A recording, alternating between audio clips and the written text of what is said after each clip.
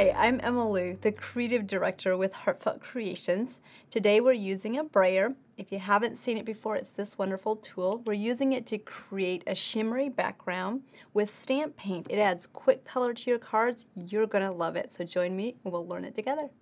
To create the stamp paint background, you're using the stamp paint in the brayer, and I love how this image is just simply beautiful on top. So to get started, I like to use a clear cardstock as a base because it's a non-porous surface, and then I'll put just a little bit of the colors that I'm wanting to use. This is the gold uh, stamp paint, and I'll just put a chunk of the stamp paint out onto my um, tray and just kind of rub that around. I'm also using some of the moss green, so you just kind of dip into the little container just a little bit and just kind of rub this around. Um, you can kind of make it as wide as you like. I usually kind of try to make it the width of the actual brayer. I might want to add just a little bit more green in there. And once you've added the stamp paint, I like to go back and just add a little bit of water to it to kind of dilute it and make that it moves very easily. I'll go back with the gold I'm just going to kind of swirl it in the center just a little bit. Okay, I think this looks like it's ready to get started. So we have a little bit of green and gold mixture on this one. So this is really, you can just create your own palette. Um, I just absolutely love the creativity of creating your own shimmery backgrounds and it dries very quickly, which is so much fun.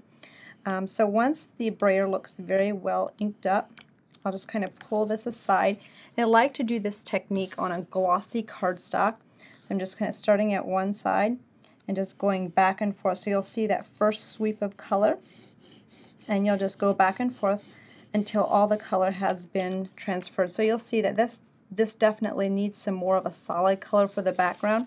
So what I'll do is I'll go back, just add a little bit more green to this, add a little bit more of the gold. I'm going to use the other edge of the sponge. and you have time to work with this so you don't have to to worry about it. You can just add some more water on the clear cardstock. Just make sure that you're rolling over the same area. And if you have water on it, it also helps the stamp paint move. If you're using a glossy cardstock, that will also really help the color move. So you'll always get a little bit different background um, depending on how the, the paint is applied. Um, so we'll go back on this, just pick some more of that color up. It's a little bit marbled right now, but it's blended well onto the, the brayer. Just go back and forth.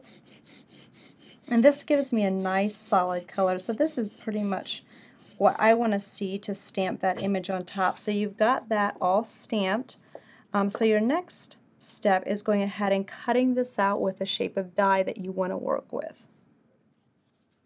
I cut this background from one of the rectangular dies in the Cut Mat Create and then you're ready to stamp your image on top. I like to stamp the, this sunflower with the frost white ink and heat emboss it. You want to make sure that you do this once your stamp paint, paint has dried so that, so that the embossing powder does not just stick everywhere on your paper.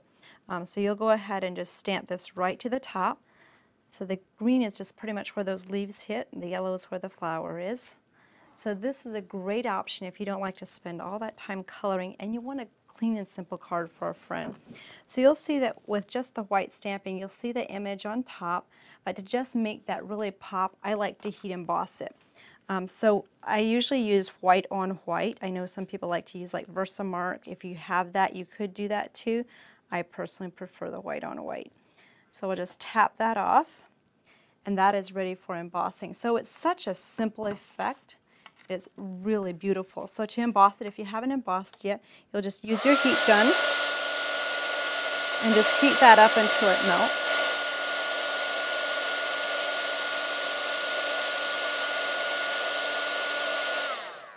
And you'll continue doing that until the entire image is all embossed and it doesn't flake off. Then I just chose to add a couple butterflies from the sunflower collection. And here's another variation of that card.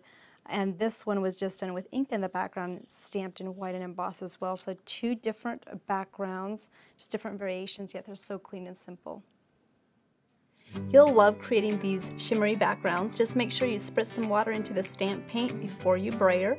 Also clean your brayer right after you're finished using it. You'll have so much fun creating those shimmery backgrounds.